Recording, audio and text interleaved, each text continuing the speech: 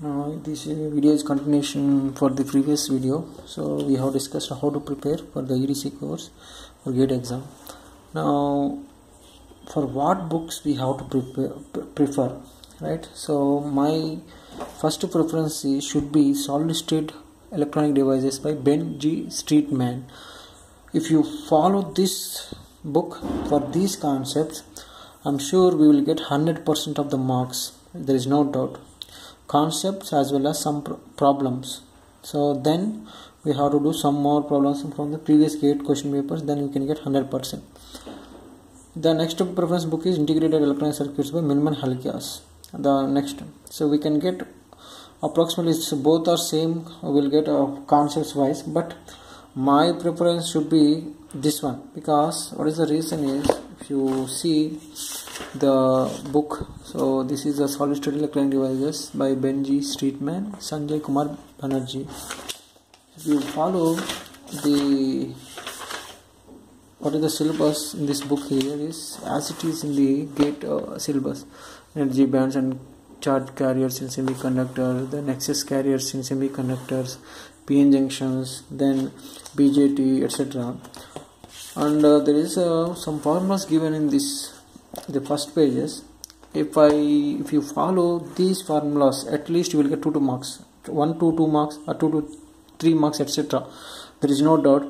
Those formulas are like what is the fermi dirac distribution function probability of the occupancy of the electrons. Similarly an intrinsic concentration then uh, what is the Poisson equation then drift velocity versus the electric field then current density then continuity equation then diffusion length then pn junctions. There is a built-in potential and uh, the depletion layer width formulas then current equations right?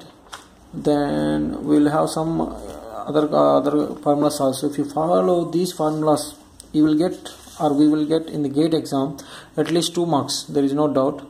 That's why we have to prepare the, prefer this test first test book. Then we can follow this also. Then one more book is there microelectronic circuits by Sedra Smith. Right?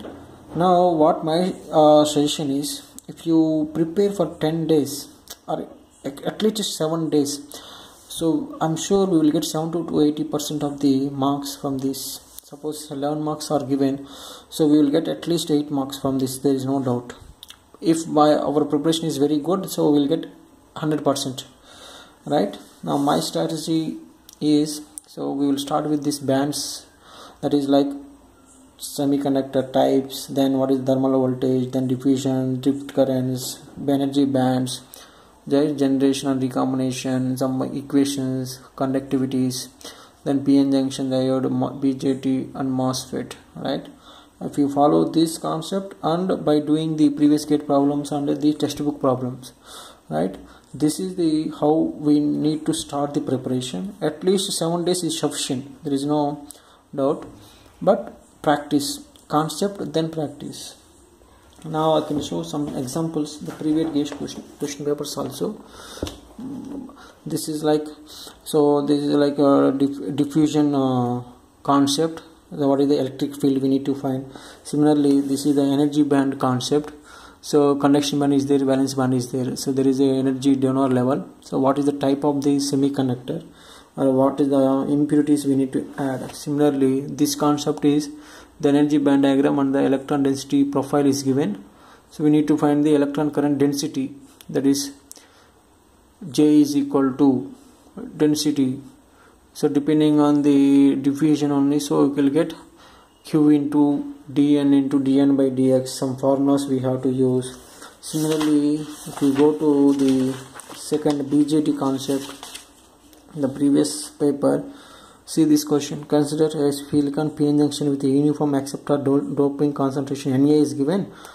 And uh, piece acceptor uh, that is Na on the P side and uniform donor Nd is given. The external voltage is applied. So find the charge per unit junction area. Right? So this formula is like this. So Q plus is equal to Q into Na into Xn into capital A.